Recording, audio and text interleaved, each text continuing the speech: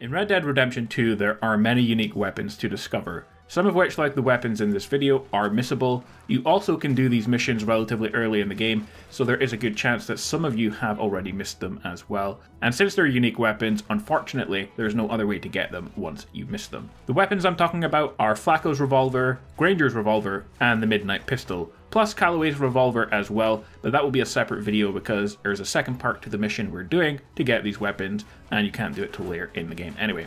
If you find this guide helpful, like and share, it is very much appreciated. Now to get all of these weapons, we're just going to do one mission. The mission to find these guns is started in chapter 2. It's a stranger mission given to you by Theodore Levin, who sits in Keane's saloon in Valentine.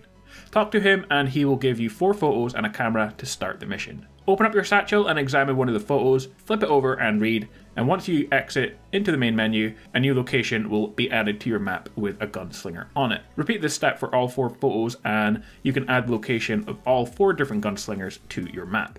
We'll start with the first one, Emmett Granger. After reading his photo, head to the location on the map, a small homestead directly east of Flatneck Station.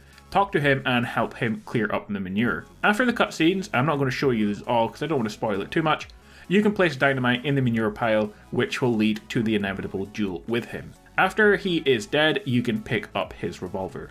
And guys, I have a separate video on how to duel and win, or some of you are having bugs where dueling is not working, you can check out that video if you want help. But once he's dead, make sure to pick up his weapon. This is the part where it's missable. If you leave the area without picking up his gun, it will disappear forever, so make sure you pick it up straight away. A rare cattleman revolver with a dark metal finish and covered in custom engravings previously owned by the late gunslinger Emmett Granger. Defeated in a duel near Flatneck Station, this gun has an ammo capacity of 6 rounds and can use regular, high velocity, split point, express, and explosive revolver ammo. Don't forget to take a picture of his whole body and then you can move on to the next person. Next up is Billy Midnight. Head over to his marker on the map at the Rhodes train station. You can speak to the clerk about Billy, then wait for the train.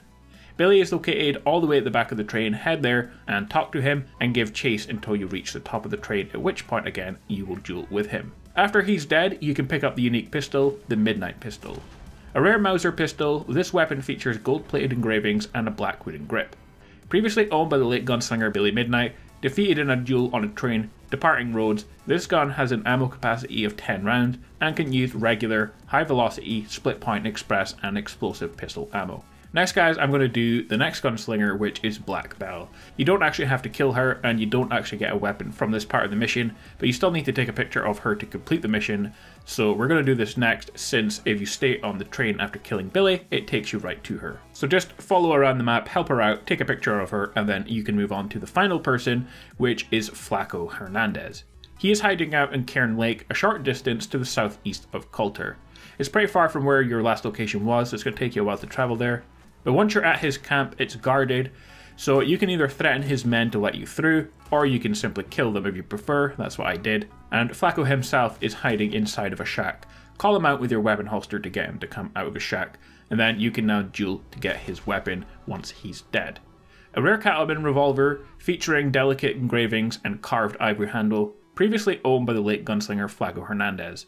Defeated in a duel at Cairn Lake, this gun has an ammo capacity of 6 rounds and can use regular, high velocity, split point express and explosive revolver ammo. So guys, that is the location of the three gunslinger revolvers that are missable in the game if you don't pick them up during this mission. There's one more to get that is missable and that is a revolver you get from Slim Grant, but I will show you how to get that in a different video because you can't start that until you finish a mission in chapter 4. And that weapon is one of my favourite weapons actually, it's the Calloway's revolver. For stats on all the weapons in the video, they all have high fire rate, accuracy, and reload speed. The difference between the revolvers and the pistol is, the pistol has slightly less damage and a slightly higher fire rate to make up for that. Like all unique weapons in game, the only difference between them and other weapons is the type in the way they look. I personally feel like unique weapons should have had special stats or effects, but they don't unfortunately. But guys, that is it for this video. If you want to see a video on how to duel and win, how to duel and disarm as well, and also how to fix your game if you're having a bug with dueling and it's not working, check out that video which will be out soon. Look at my channel for all the unique weapon locations, subscribe for more weapon and combat guides on Red Dead and Red Dead Online updates.